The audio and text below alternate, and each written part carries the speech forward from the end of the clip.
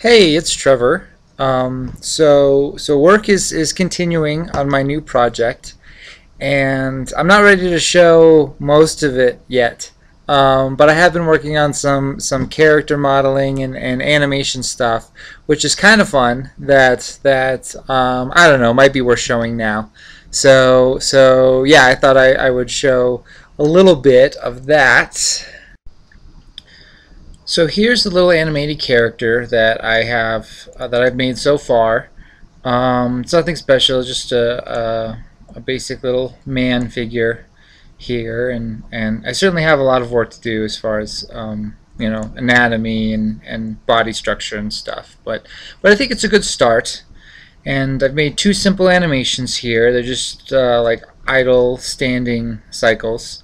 Um, so there's this one where he just kind of goes back and forth between his hand on his hip and crossing his arms. And then there's this other cycle where he does kind of a yawn. And you can see I've animated his mouth here. Well, let's see if I can get a better view of that action. So yeah, it's it's it's not amazing, but it's a start, and uh, and it's fun. Uh, in other news, Grace is Grace is pregnant.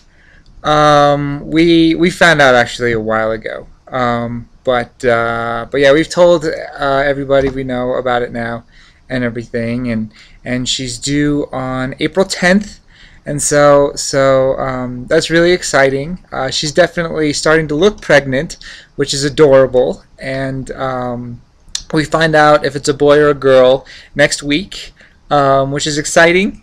I'm I'm I'm convinced it's a girl um, because I had a dream before Grace was before we found out Grace was pregnant that it was a girl. Um, but we'll see. We'll see. We'll see what we find out uh, uh, next week.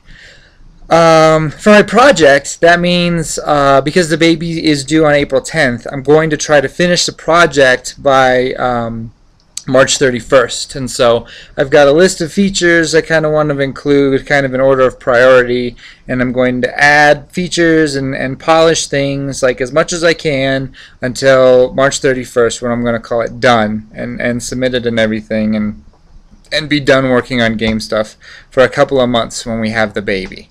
So so we're going to have a baby. Uh, I'm going to be a dad and Grace is going to be a mom and, and we're all excited. And so, um, and uh, yeah, I guess that's it for now.